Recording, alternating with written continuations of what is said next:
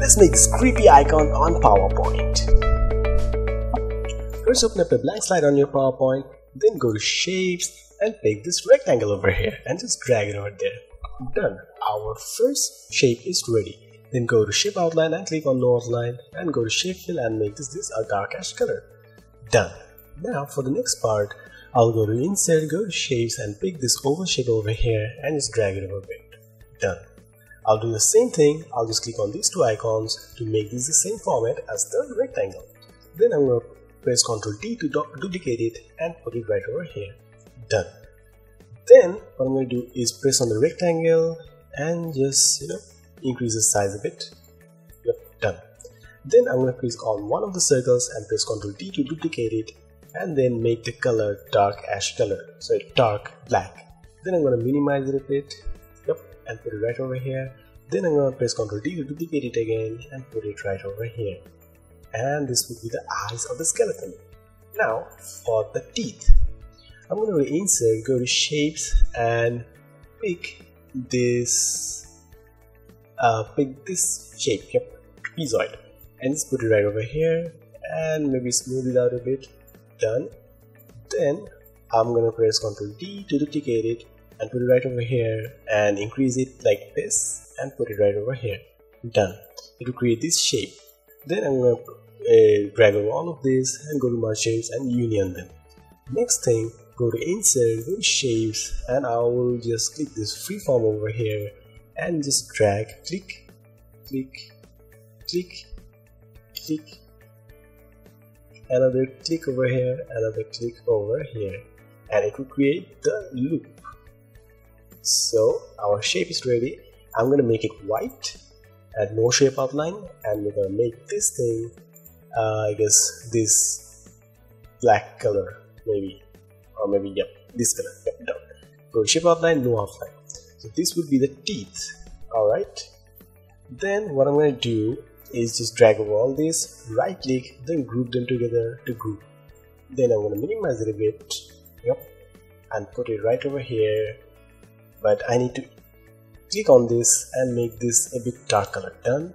I'm to put it right over here.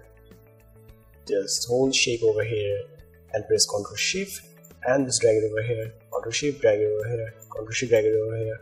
Ctrl Shift, drag, drag. You get the point, right? Alright, I'll drag all of this. Then I'll drag over all this. Go to format, go to align and distribute horizontally. Done. So these will be the teeth of the you know skeleton. And for some final touch, I guess I'll just drag over all of this, right click, then group them together, and then I'm going to press Ctrl D to duplicate it and just invert it like this and put it right over here.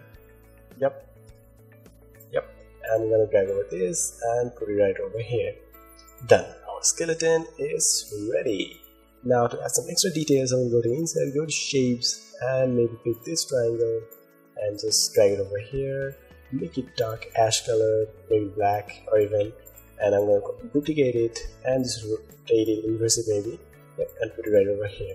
So that's how you create a skeleton on PowerPoint. So we are almost done. We're actually done to add some more details what you can do is add more elements. So I'm going to add one element more. I'm going to go to insert go to shapes and so this because it's a minimalist vector drawing I'm going to pick this circle and just drag it over there and just duplicate it. Another circle over here put them right over here then go to insert go to shape and pick this and make it like this. I'm going to decrease the size of the circles a bit. Yep done then what I'm going to do is uh, get these two circles and just keep them right over here to duplicate them. And then I'm going to drag over all of this and merge shapes together and then go to shape outline outline and make this black. Then what I'm going to do is just rotate it a bit and put it behind this thing. Behind the main thing created. Right click send to back and press ctrl D to duplicate it. Rotate it a bit. Yep, done. And right click, send to back. So our skeleton is ready. I'm gonna minimize a bit.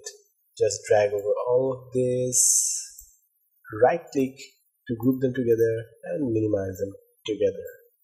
And that's how you make a skeleton on PowerPoint. For more of these videos, don't forget to hit the like button and subscribe to this YouTube channel.